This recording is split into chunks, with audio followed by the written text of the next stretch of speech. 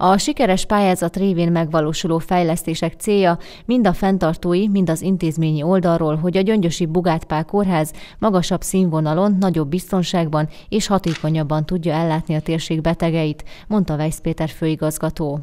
Egyrészt nyertünk 234 milliót a dolgozói étkeztetés magasabb szintű kiszolgálás érdekében, aminek az eredményeképp építési, technikai, technológiai beruházás lesz, hogy a színvonal magasabb legyen.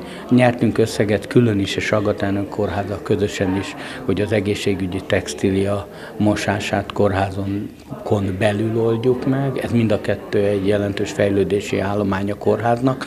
Ezen kívül futó pályázataink vannak több mint egy milliárdos összegben, amelyek nagyon szép reményekkel kecsegtetnek.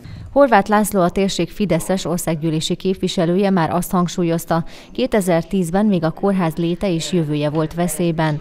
Az elmúlt öt évben a kórház vezetésének is köszönhetően viszont már több mint 3 milliárd forint fejlesztési forrás érkezett a kórházba, így már a már befejeződtek az infrastruktúrális fejlesztések, és jelentősen modernizálódott az eszközpark is. A mostani pályázattal pedig az intézményi ellátás színvonala javul tovább, fogalmazott a képviselő.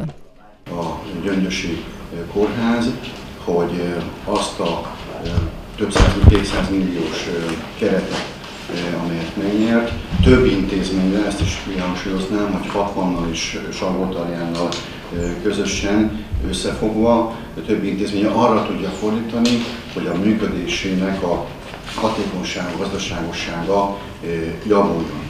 A legfontosabb változás, hogy ezen túl a 60 Albert Schweitzer kórház konyhájáról érkezik majd a Gyöngyösi kórházba az ebéd.